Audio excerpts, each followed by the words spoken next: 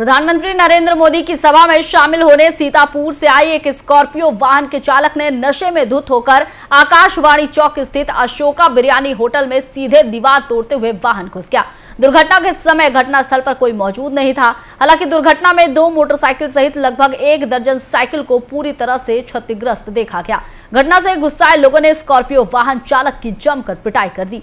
सूचना पर गांधीनगर पुलिस मौके पर पहुँची और चालक को अपने साथ थाने ले गई। एकर तो बम्फड़े पचकी से बस। एक तो दो चार पाँच हज़ार, दस हज़ार में ठीक हो जाएगी।